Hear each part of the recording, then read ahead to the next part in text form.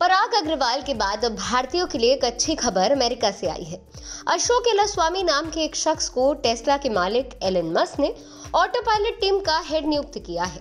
खुद एलन ने इसकी जानकारी एक ट्वीट के ज़रिए दी है। अशोक पहले ऐसे भारतीय मूल के शख्स हैं, जिन्हें अमेरिका में स्थित electric vehicle energy company Tesla ने ऑटो पायलट टीम के लिए हायर किया है।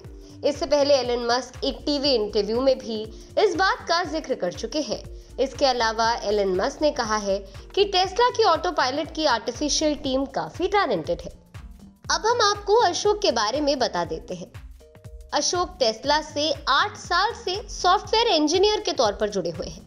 साल 2014 में उन्हें ऑटो पायलट डिवीज़न के लिए सॉफ्टवेयर इंजीनियर नियुक्त किया गया था। साल 2016 तक वे टेस्ला में सीनियर सॉफ्टवेयर इंजीनियर के तौर पर प्रमोट हुए। साल 2017 में उन्हें एक बार फिर प्रमोट कर सीनियर स्टाफ सॉफ्टवेयर इंजीनियर नियुक्त कर दिया गया था। इसके बाद उन्हें साल 2019 में ऑटो पायलट सॉफ्टवेयर टीम का डायरेक्टर बना दिया गया। टेस्ला में ज्वाइनिंग से पहले अशोक वॉक्स इलेक्ट्रॉनिक लैब से जुड़े थे। इसके अलावा उन्होंने दो साल वेबको व्हीकल कंट्रोल सिस्टम में भी काम किया।